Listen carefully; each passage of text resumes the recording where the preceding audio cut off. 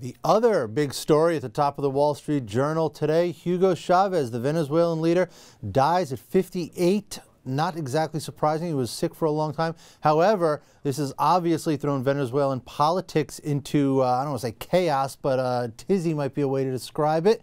What does it mean for Venezuela? What does it mean for the United States? We're lucky to have with us this morning Diane Negroponte of Brookings Institute to talk to us about this one. Uh, Diane, let's start with the U.S., right? We've had an obviously contentious relationship with Hugo Chavez. What does this mean for U.S. Venezuelan relations? There's hope that under a new leader we can turn to a more pragmatic relationship with Venezuela.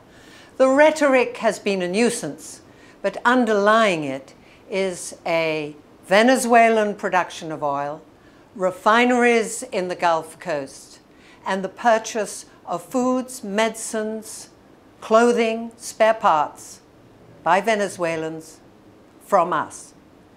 That pragmatic underlying economic reality could now be recognized. Mm. And, and when you talk about the, the region, the Latin American region, how much does this jumble the political calculus down there? I mean, he was obviously a, you know, larger than life figure, very charismatic, I, all, all that, I get all that. What does this do for the political situation? We've known that Chavez is dying for several months, so the plan is already established. According to the Constitution, the Venezuelan Constitution, Nicolas Maduro, his heir apparent, will lead his party into elections which should take place within the next 30 days. The opposition is united behind a charismatic, young, energetic candidate, Henrique Capriles. But Henrique Capriles will face an uphill battle because the government will not give him equal time on the news media, and the government will continue to spend those oil revenues on handouts to its followers. So Capriles will fight this election campaign, but it's very hard to win. Uh, Diane Chavez, obviously a populist. Uh, a lot of people down there loved him very much so.